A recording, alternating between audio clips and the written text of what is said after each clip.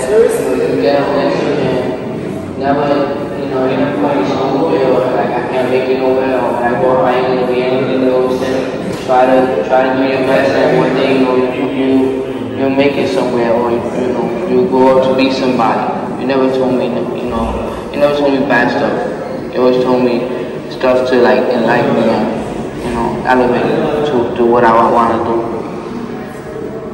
That's what I want to thank did that for you. I want you know that I'm happy that you you do something that. One more question I have for you.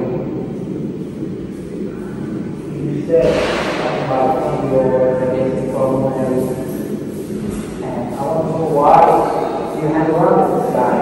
Why bother him being around him? You know that you get in trouble. He has an attitude problem. You said you said that he's always fighting, beating up on people, and that's not you.